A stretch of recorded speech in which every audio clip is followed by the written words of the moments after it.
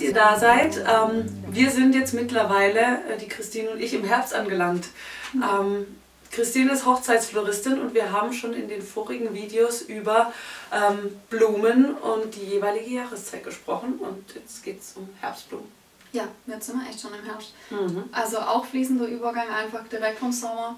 Im Herbst ist die Auswahl nicht mehr ganz so groß, muss man sagen. Mhm. Einfach Blumen. die wachsen halt im Frühling und im Sommer. Ja.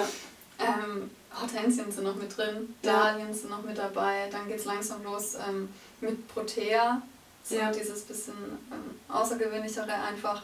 Die Sonnenblume ist natürlich auch noch mit dabei im Im Herbst. September noch. Ja, genau. genau so, Mhm. man sagt ja so, ab äh, Mitte, Ende September geht der Herbst einfach los. Mhm.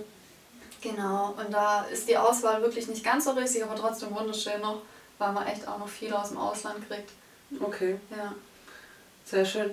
Und es sind halt mehr, nicht mehr diese knalligen Farben. Ja, ich wollte gerade sagen, es ist ein Genau, bisschen genau. pastelliger, genau, oder? Genau, Mhm. ein bisschen pastelliger, einfach auch ein bisschen dunkler von den Farben.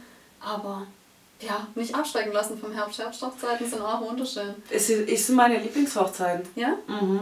Ich danke dir. Ja, gern. Und ähm, wir machen jetzt noch gleich weiter mit Winterblumen. Genau. Wenn es denn Winterblumen gibt. Ja.